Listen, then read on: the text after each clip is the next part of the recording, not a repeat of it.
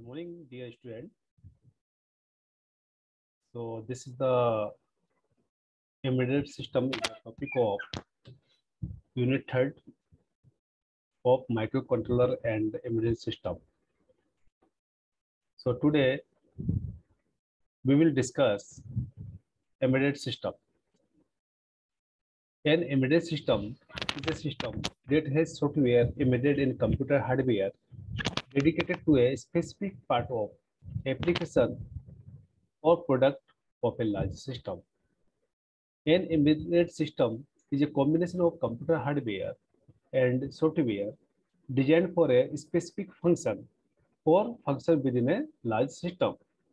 The application of embedded system include home appliances such as washing machine, microwave, ovens, office automations like cameras, photocopiers, printers, fax machines, security telecommunication, instrumentation, entertainment, aerospace, banking, and finance, automobiles, personal, watch and in different embedded system projects.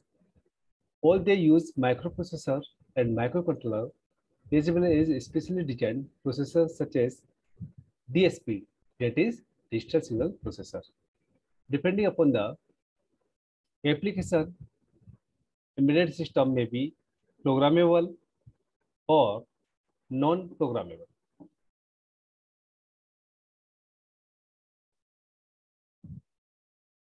An embedded system has three components, embedded system hardware, embedded system software, and operating system. What is embedded system hardware? As with any electronic system, an embedded system requires a hardware platform on which it performs the operation. Embedded system hardware is built with a microprocessor or microcontroller. Usually, an embedded system consists of power supply, processor, memory, timers, serial communication ports, output circuits, system application specific circuit. When it comes to embedded system software, the embedded system software is written to perform a specific, specific function. It is typically written in a high-level language format and then compiled down to provide code that can be lodged within a non-volatile memory within hmm. the hardware. An embedded system software is to designed to keep in view of the three limits. First, availability of system memory. Second limit of availability of processor speed. And third one, when the system runs continuously, there is a need to limit power dissipation for events like stop, run, and wake up.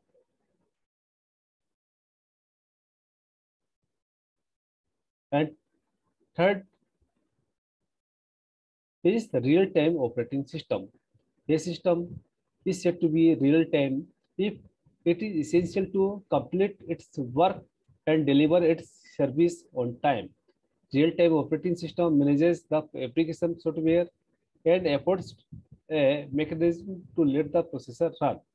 The real-time operating system is responsible for handling the hardware resources of a computer and host applications which run on the computer. An RTOS is specially designed to run applications with very precise timing and high amount of reliability.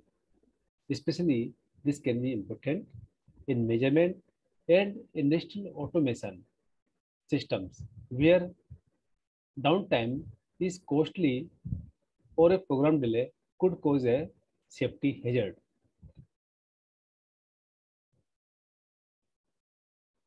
So there are so many types of system memory of a embedded system like internal RAM at microcontroller, RAM at SoC means system on chip or external RAM. Internal caches at microprocessor, external RAM, chips, flash, EEPROM, ROM, PROM, and memory addresses at the system ports. So these are the various form of system memory. It may be embedded system.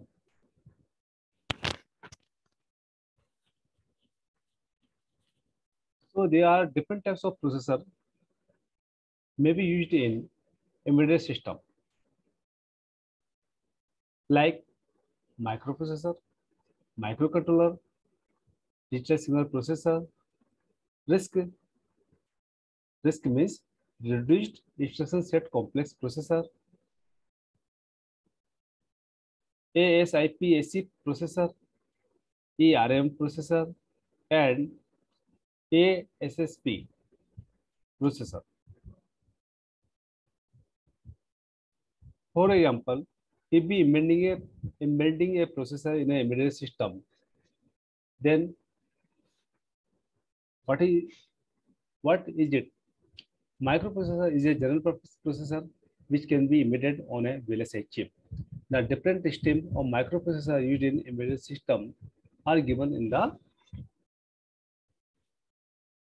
copy. Embedded second, embedding a microcontroller in an embedded system. So the so the different system of microcontroller controller used in embedded system are usually among the five five stream of family and embedding a DSP A digital is a processor is a processor and it is an essential unit of an embedded system. The DSP applications are audio, video, multimedia, image processing, DSP, modem, HDTV, and telecommunication processing system.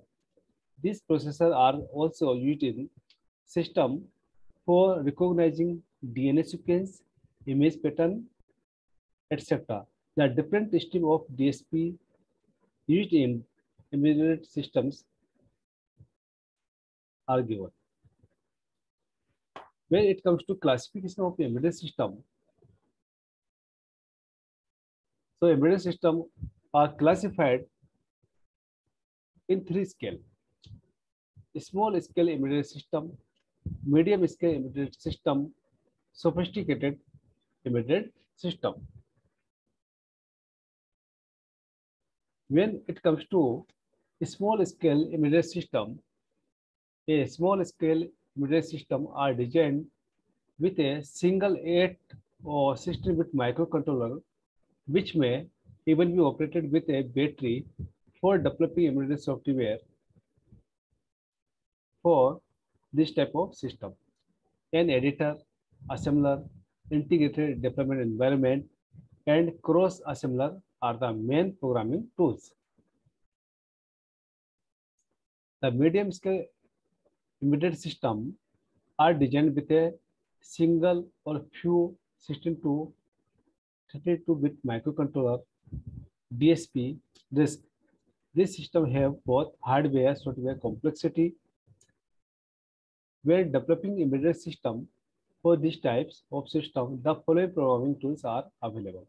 They are C, C++, Visual, C++, Java, and RTOS source code engineering tools, debugger, simulator, and integrated deployment environment.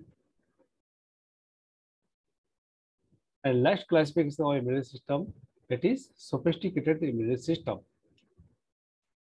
In sophisticated embedded system, have huge hardware and software complexity and may need P L A I piece ASIPs scalable processor और configurable processor. They are used for cutting-edge applications that need hardware and software co-design and components which have to combine in the final system. now, application of embedded system. embedded system have different applications. Few select applications of an embedded system are small cards, telecommunication, satellite, missile, digital consumer, electronics, computer networking, etc. When it comes to embedded system in automobiles, so embedded system are used in various automobiles like motor control system, cruise control system, engine or body safety, robotics in assembly line, car, entertainment, car multimedia, and mobile and e-com access. When it comes to embedded system in telecommunication, so in telecommunication, mobile computing, networking, wireless communication, and when it comes to in smart cards. So we talk about banking, telephone, security system. When it comes to in the field of missile and satellite, so embedded system found in defense, aerospace, and communication. When it comes to computer networking and peripherals, so embedded system applications are networking system, image processing system, printers, network cards, monitors, and display. When application comprising digital consumer electronics like DVD, set-top box, high-definition TV, digital cameras, etc. So these are the application of the embedded system. So thanks all of you for having patience for listening my lecture. Thank you.